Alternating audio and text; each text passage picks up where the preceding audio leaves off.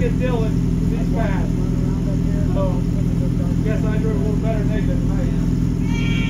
When you come over the future man, there you Fred. Come on, I'm freaking tricking out people that good. There you go. I like to thank friends, family, everybody helping in the race car. Can't do it without them. Thank you.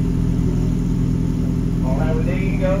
Give another round of applause to your main Saturday AM winner.